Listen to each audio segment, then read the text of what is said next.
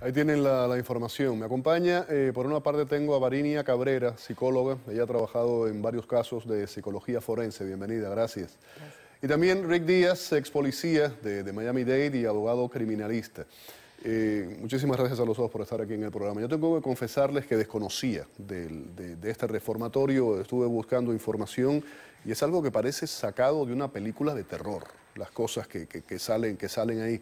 Eh, eh, Rick, desde el punto de vista legal, ¿qué, ¿qué, es lo que está pasando? Dicen que no confían en la investigación del Estado y que quieren que el FBI o que el Ministerio de Justicia se encargue de esto. Yo estoy de acuerdo con eso porque mm, debe de haber una agencia independiente al gobierno o a la institución estatal. O sea, el FDL no debe estar investigando agencias del Buró de Prisiones estatales.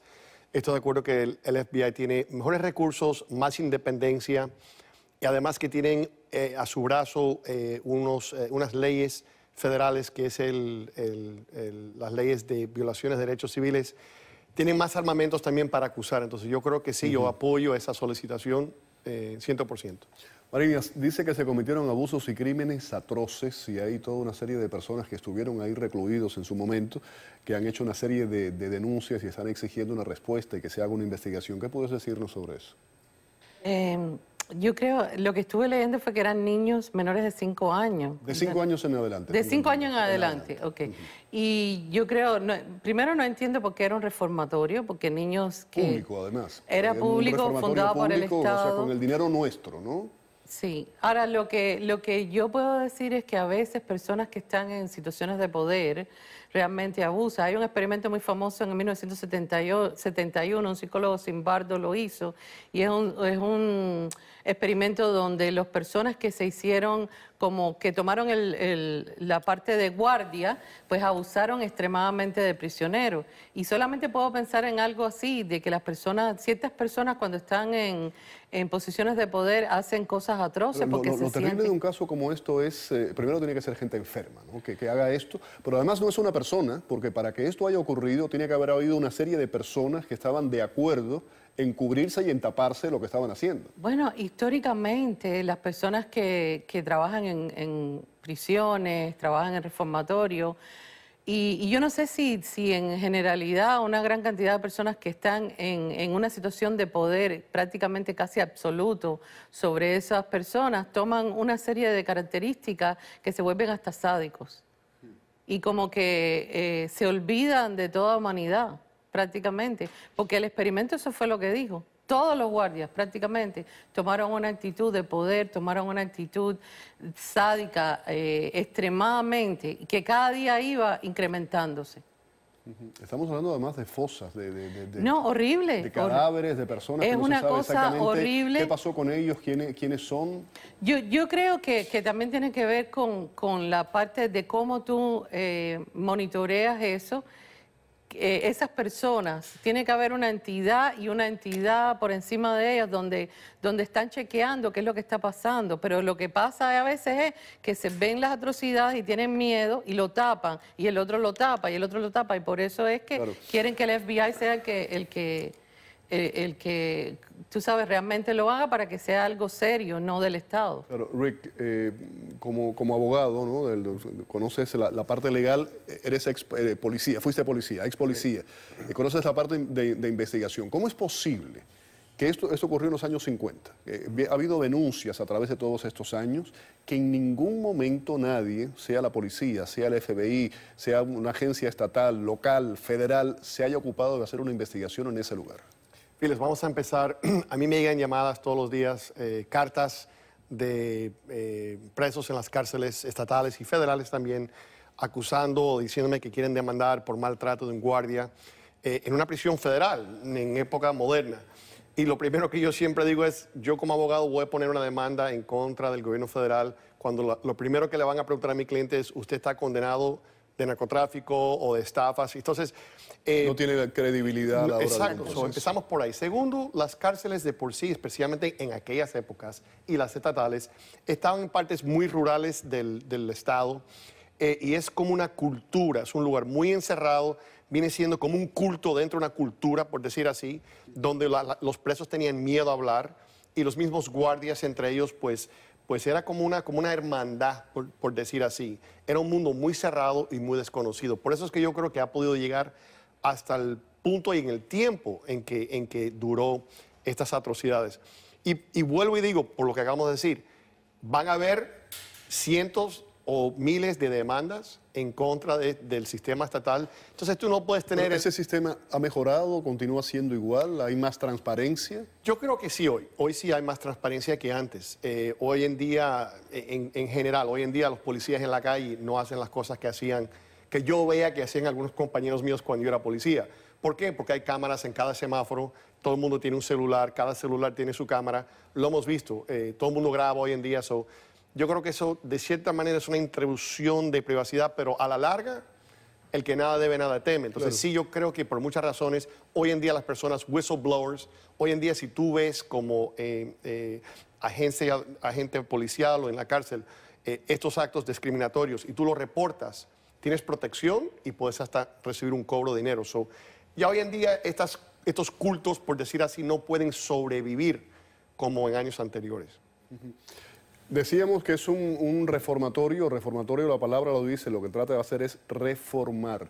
Es eh, realmente lo que hacen en, en esos centros, entra un niño de 5 años, ¿sí? 6, 7 años, que entre a un, reformatorio, ¿cómo sale de ahí si es que sale? Bueno, en, en aquella época de este que estamos hablando, que cerró las puertas en el 2011, tengo entendido, eh, yo pienso que desafortunadamente salían demasiado traumados de por Pero sí. no nos vayamos al pasado, hoy día, hoy día, Hoy los, en re- día- los reformatorios. Mira, a- aquí en Estados Unidos, desafortunadamente... eh, Esos yo- reformatorios no se convierten a veces en unas cárceles de delincuentes. Eh, tú- a veces sí, porque ¿qué pasa? El, el país que yo creo que tiene mejor incidencia en cuanto a no reincidir, reincidir eh, y a reformar Dije a un de criminal. delincuentes, quise decir escuelas de Es de escuela de violencia en sí. Eh, pero el país que yo creo que, que se sabe que tiene mejor eh, reforma- reformación para eh, estos criminales es Japón. ¿Por qué? Porque le dan mucha educación, le buscan un O sea, lugar. prevención, prevención. La, la idea es que la persona pueda educarse y encontrar un lugar en la sociedad, pero en realidad aquí es muy difícil después para rehabilitarse para un criminal. Entonces, si no hay educación, yo pienso que tampoco hay un nivel de conciencia, de desarrollo de nivel de conciencia. Una cosa va muy ligada también a la otra. A veces no necesariamente, pero si no tenemos educación, si no, po- si no pueden educarse ellos en ciertos aspectos de, de diferentes cosas y crecer como personas, ¿cómo van a poder re- rehabilitarse? En esa, esa era la época además del, del racismo, a finales de la década de los años eh, 20. por Y un ejemplo. criminal Había- estaba manchado de por vida. No, y había habitaciones además para niños blancos, otro para, para niños negros, además de todo lo que Además, hablando. encima de todo. Encima de todo. Félix, Re- est- sí, estabas, estabas diciendo eh, que si hoy la- las situaciones son diferentes que antes y si existe de verdad la reforma.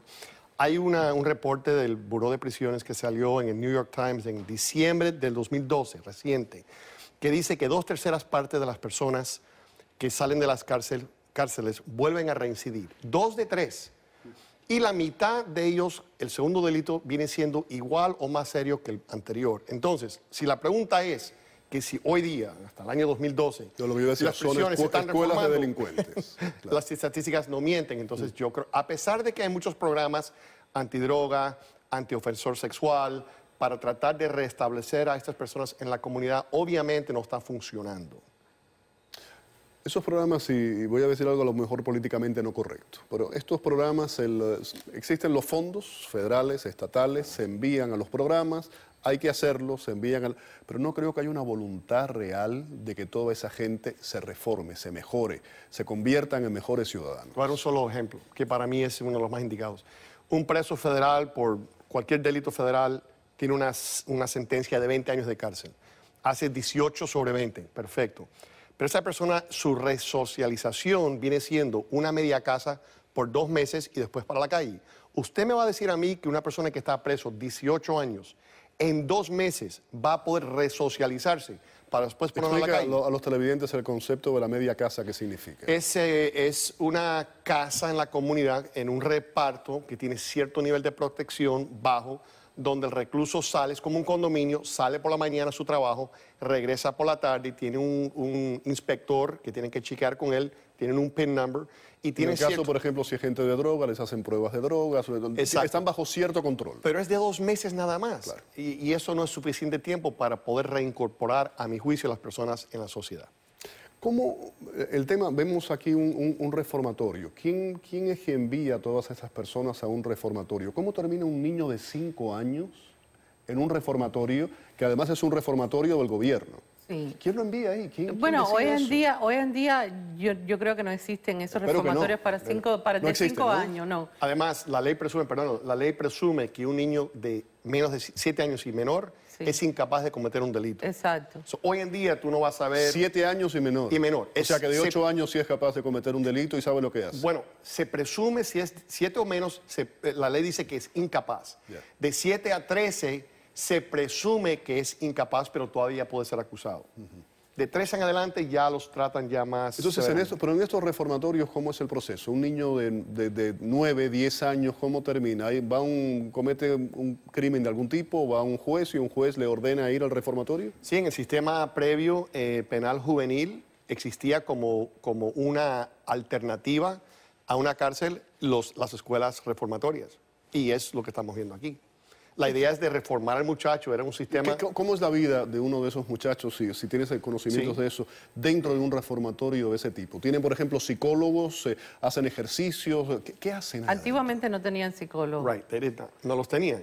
pero Lo ahora cual es fundamental en un caso como ese. Pero ¿no? ahora sí, se supone que sí los tiene, ahora tienen psicólogos, tienen trabajadores sociales, eh, hay toda una serie, y, y aún así no funciona bien. Así es. ¿Por qué crees que no funciona? Yo le preguntaba a Rick, desde tu punto de vista, ¿por qué crees que no funciona bien? Es un problema complejo. Yo creo que los lugares donde ellos van, que son los lugares que le llaman de foster home, generalmente, foster home terapéuticos, eh, desafortunadamente la mayoría de las personas que están en esos foster home, que los tienen, toman cosas como más como negocio que como realmente de, de que tengan una vocación. El caso de los Barahona, por ejemplo. ¿no? Por ejemplo, el caso de la Barahona. eh, entonces, eh, requiere de, de algo todavía. dices un negocio, ¿por qué? El- ¿Ellos eh, adoptan o con dos, tres niños y reciben un dinero por eso? todo lo más que todo lo más que puede. Yo he visitado algunos foster home que, que realmente es un poco feo. el porque- Departamento de Niños y Familias también no debe estar al tanto de todo eso, saber, investigar quiénes son esa gente. Claro, Guillermo, pero son tantos los niños, no- a veces no tienen dónde localizar, dónde ponerlo. Yo me acuerdo que yo tuve una niña que estaba en una casa, la, la madre la iba a adoptar, no la quería, y tú sabes dónde la tuvieron que poner, en el hospital psiquiátrico, porque no encontraban una casa de foster home donde tenerla. Eh, y es horrible realmente. Eh, tú sabes, no tienen, no tienen qué hacer con esos niños. Rick, ¿qué piensas de toda esa situación? Bueno, estoy de acuerdo que uno de los problemas que hay con, el, con el- los- las cárceles, por decir, para los juveniles, eh, uno de los problemas es falta o escasez de recursos económicos. No tienen los fondos, no tienen las personas adecuadamente entrenadas eh, para poder llevar a los niños. Eh, eh, y, y esencialmente eh, el problema de recursos, falta de entrenamiento, falta de motivación, eh, lleva a que esto no tenga el éxito que debiera tener. Yo me acuerdo hace años atrás, existía un programa en Dade County que era muy bueno, que era el Boot Camp, Sí. que era cuando eran menores de edad, hasta 21 años, y entraban en el programa de Boot Camp. Y era intensivo, yo veía los ensayos que hacían los demás.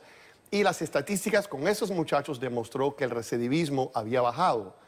Pero los que estaban dirigiendo el bootcamp eran ex policías, ex militares, era un programa que estaba eh, respaldado económicamente. Y después, Eran de, más y expertos. después de X años lo, le- lo- lo descontinuaron por falta de fondos. Sobre el programa que funciona, lo descontinúan por falta de fondos.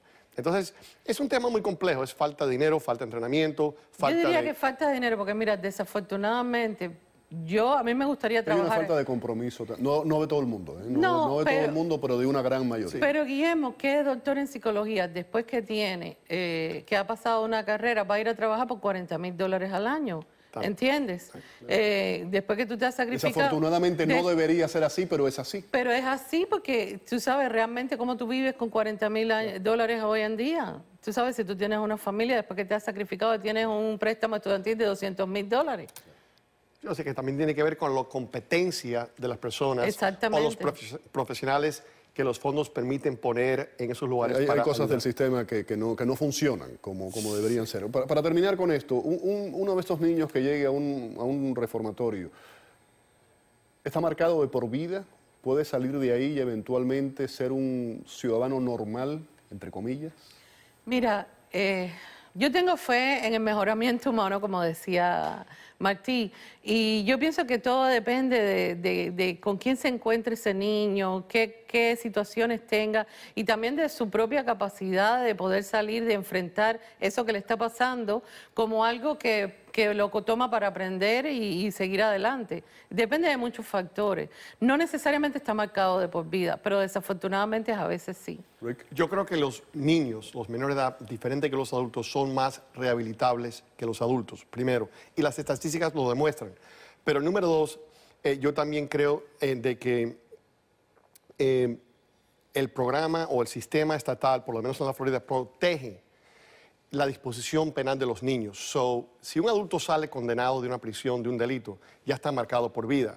Yo en la computadora lo veo, pero si un niño sale y es menor de edad, eso no sale porque es confidencial. yo creo que los niños, por ser más jóvenes, por ser más rehabilitables y por tener la protección de confidencialidad de los récords penales, sí tienen mejor, hay más oportunidad para ellos que para un adulto que sale ya después de una condena. Bueno, no perdamos la esperanza. Muchísimas gracias a los dos por haber estado aquí en el programa. Vamos a la pausa, al regreso.